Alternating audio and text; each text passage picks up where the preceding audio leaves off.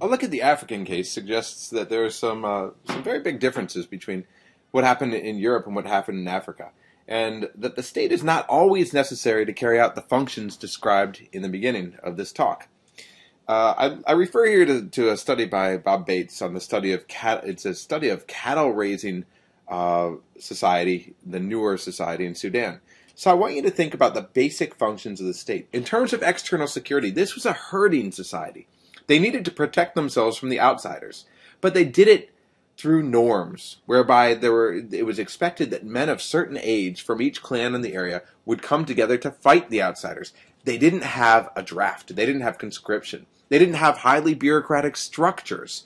Instead, it was it was again it was based on these norms, feelings for what is proper, what is obligatory.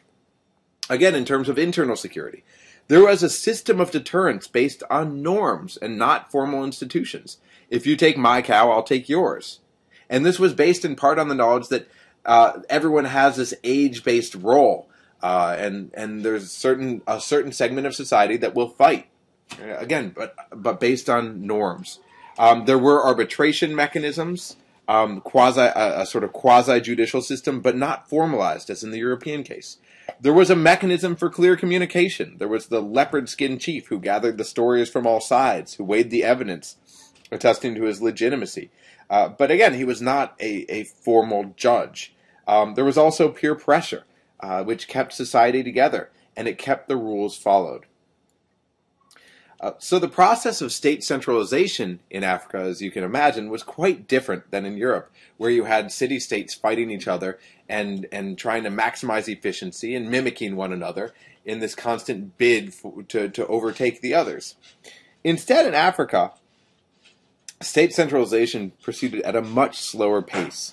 It was much more difficult because of two reasons. First of all, and this, these are basically related to demographics. First of all, the land was of very poor quality. And second of all, the population density was very low. What this meant is that you had to move around a lot because there was no good land, and that you can move around a lot without stepping on people's toes because there was so much land. In Europe, if you move a couple miles, you're going to run into another group. In Africa, you move a couple miles and you can go miles and miles and miles and not run into another group. So what all this meant is because of the demographics, there was no impetus to centralize. Who needs control of the land when it is not a scarce resource? It's not valuable. From the other side, in, in Africa, unlike in Europe, you had a frontier mentality. Given the large amounts of land, it's easy to pick up, it's easy to go if you don't like who you are living under, or if they don't like you.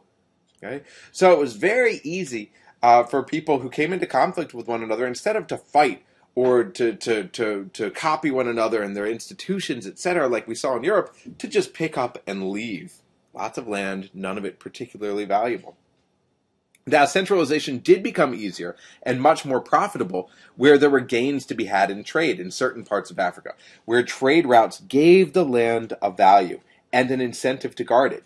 And then, if you're guarding it with a standing army, then you need to collect taxes to support it, and you have a more a, a, process of evolution that's more similar to the European case. But for much of Africa, there was a very slow centralization process, uh, thanks to these demographics. Uh, and what this meant is that African, um, hmm, they weren't states; they were proto-states, maybe African peoples, uh, I should say, I guess, were really easy targets for colonizers in the late 18th century, and, and some before that. So, how do now? We'll move on. Um, talk a little bit about defining the state. We we define state power. Oh. Sorry, pause. So, in this class, when we talk about state power, we're talking about the ability to accomplish accomplish basic objectives, define defend the borders, ensure order, uh, ensure the collection and allocation of revenue. And we refer to two aspects here: capacity, and autonomy. By capacity, we mean the ability to carry out basic tasks. And here's a quote from your textbook of providing security and reconciling freedom and equality. By autonomy, we mean the ability of the state to wield its power independently of the public. Okay? So this is basically control over the public. Now, in this class, we focus on the domestic public. Uh, in your book, they may uh, conflate this with sovereignty, so the ability autonomy um, in a an international context, we usually refer to that as sovereignty. So again, when we talk about autonomy here, think of it in the domestic context. So we'll start with capacity. Uh, this is the capabilities to, quote, carry out actions or policies within a territory independent from external actors or internal rivals. Um, in other words, serve as the primary authority which can create and execute laws and regulations and resist outside interference and ensure order and stability at home. So this necessitates power.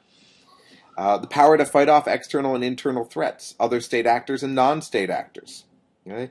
Um, this vague notion of power is made concrete through institutions. Things like the police, the military, the tax collectors. Apart from power, these institutions also transform political ideas uh, into concrete policies. So the agricultural uh, agriculture department, for example, um, might be told to allocate land, but then they decide exactly how to allocate the land um, through the executive. The Defense Department uh, is told how to best secure the borders, but they come up with the the exact policies for winning a war. Okay? No one legislates how to win the war. Uh, the State Department is told to regulate relations with other countries, and they come up with a strategy for regulating those relations.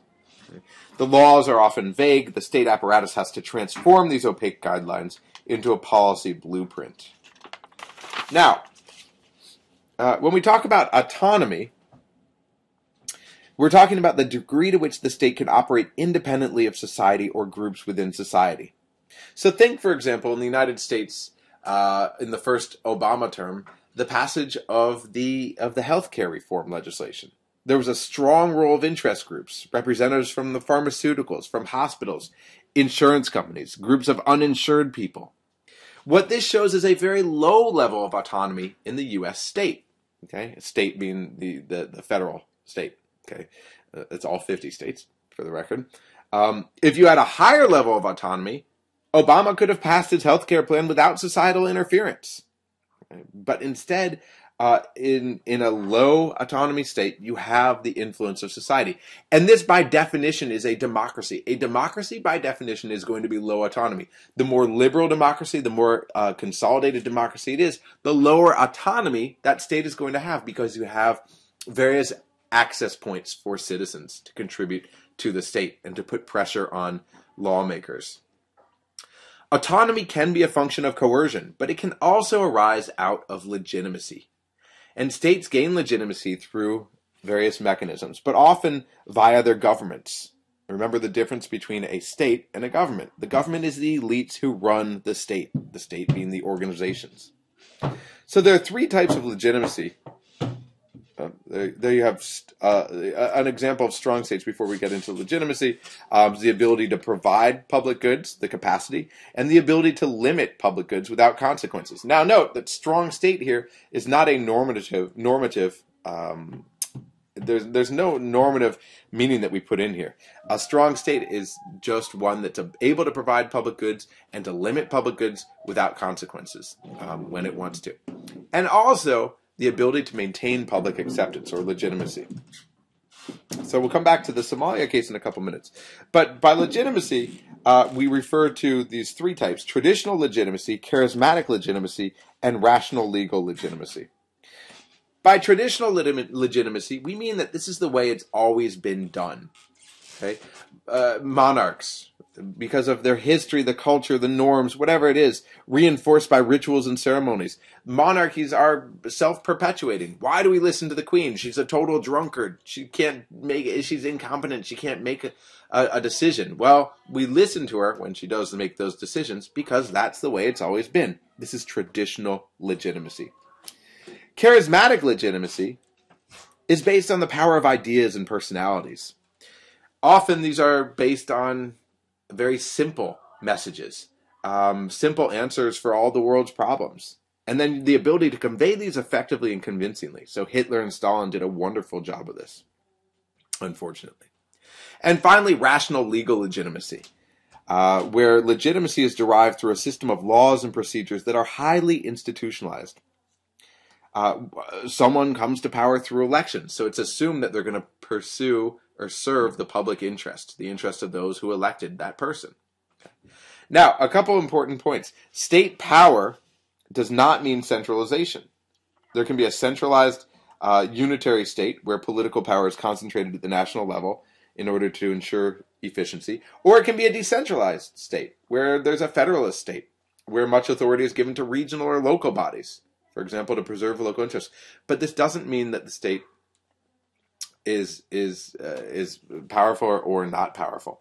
Um, and let me go back um, just to give you an idea. States with high capacity and high autonomy, um, states like China, like the former Soviet Union, these are states that could that had the means, the technological means, uh, and the money in many cases to do what they wanted to, or the military means to do what they wanted to, and they didn't have to listen to their people.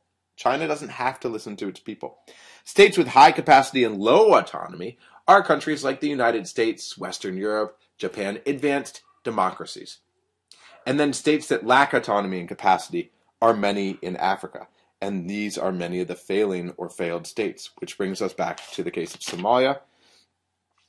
Um, and I apologize for showing that slide for so long. Um, but Somalia is a state with low capacity and low autonomy. It's a failed state. How did it get there? Well, various clan leaders, some supported from abroad, for example, from Ethiopia, felt marginalized under Barre, who spoke out against clan politics, but actually manipulated clan politics through his political alliances. Opponents gained a following of armed supporters and fought their way towards Mogadishu eventually pushing Barre out of power. Yet all of them wanted power for themselves. And so the traditional government sought to divvy up parliamentary spaces based on clans. Of course, this was complicated and contentious. And ultimately, the clans decided they wanted power in place of the state. And this is what's led to a failed state in Somalia. And this is perpetuated today. So that's all for the state uh, the, the state lecture, and we'll go on in the next section.